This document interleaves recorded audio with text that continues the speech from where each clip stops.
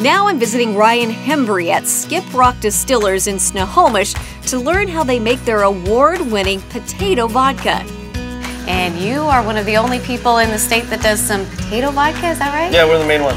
That is awesome. Okay, so we're going to learn the whole process. Absolutely. We're going to go start to finish, grinding those potatoes, the cooking process, um, proofing it down to, for the final bottling, and, and, go from there. Maybe a little taste. A little taste, just yeah. a little bit. The first step is to grind up the potatoes in a hammer mill. How many potatoes go into like a bottle? One bottle? Yeah. With the reds, it's about 12 to 13 pounds of potatoes of for potatoes. one bottle. That's There's, amazing. Yeah. That's a lot of potatoes. The potato mash. Kind of looks like uh, berries and cream. Next, the potatoes are pumped into a giant pot and cooked for seven to eight hours. So once it sits in the and kind of cooks. After it cooks up, we'll pump it into our fermentation tanks. Okay. Uh, these are these are great thousand liter tanks. Don't require additional cooling. So we'll go ahead and uh, it ferments in here for about four to five days. Woo. The next step is to add some water to the vodka. Just a little bit more. Perfect, that's good. Okay. All right. Then we take a sample to measure the exact alcohol content. All right, this is the hydrometer. So it, it measures the density, the water, amount of water, and the amount of alcohol in, uh, in a sample. Get able to make sure there's no air bubbles attached to it. Yeah. Do you ever feel like a mad scientist?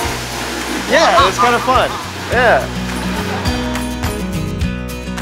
Once the alcohol content is at 70 proof, it's ready to be distilled.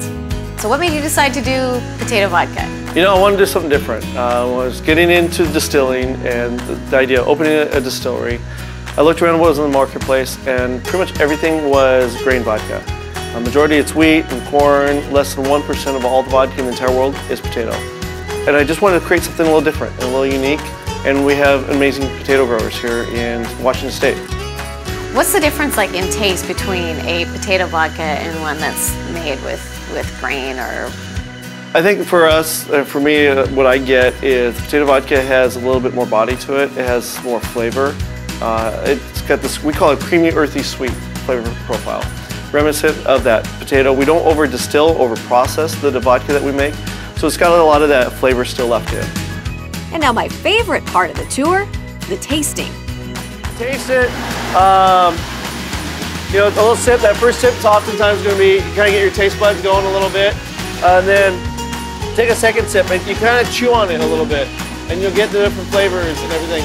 You don't need to swirl it like wine. That actually, it's high alcohol, so that's just gonna, um, especially in these glasses, it just, it's not really needed. Okay.